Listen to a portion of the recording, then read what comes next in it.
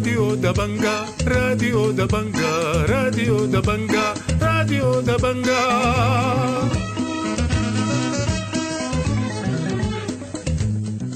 أهلا ومرحبا بكم مستمعي راديو دبنجا الأعزاء وإليكم عناوين الأخبار لليوم الاثنين خمسة من شهر 8 سنة 2024 مفوضية العون الإنساني تنفي المجاعة في معسكر الزمزم وبقية مناطق شمال دارفور.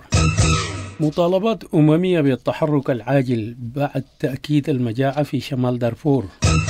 غرفة طوارئ أبو شوك النازحون يتعرضون لمجاعة حادة وحصار وأمطار غزيرة. الجيش يوسع دائرة انتشاره في مناطق غرب أم درمان ويسيطر على مناطق جديدة. حركة تحرير السودان قيادة عبد الواحد تتهم المدعي العام للمحكمة الجنائية الدولية بتغويض جهود المحكمة.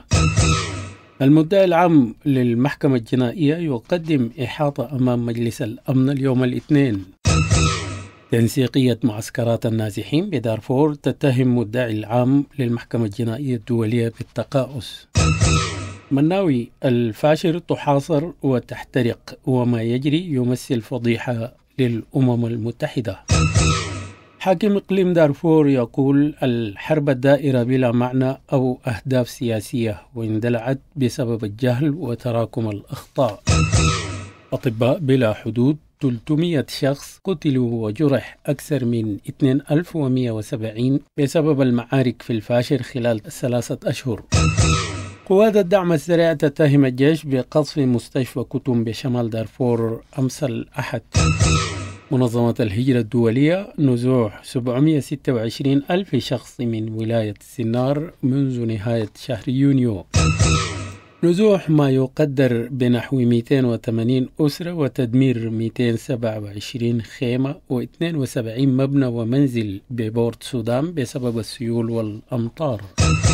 تقدم رفضنا مقترح الاتحاد الأفريقي والقوى المقاطعة ستعقد اجتماعا فنيا مع قياداته لتصميم العملية السياسية.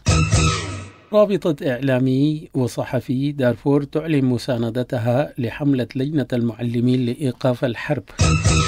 لجان مقاومة الدمازين تكشف عن توقل الدعم السريع في منطقة الأدهم داخل محافظة التضامن. أطباء بلا حدود تحذر من تعرض الأطفال المصابين بسوء التغذية في معسكر زمزم لخطر الموت خلال ستة أسابيع. غرفة طوارئ بحري تكشف عن مقتل متطوع برصاص طائش.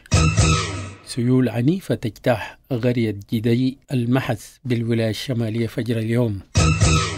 وأخيرا مستمعينا الكرام احتجاجات في بورت سودان بسبب انقطاع التيار الكهربائي لساعات طويلة.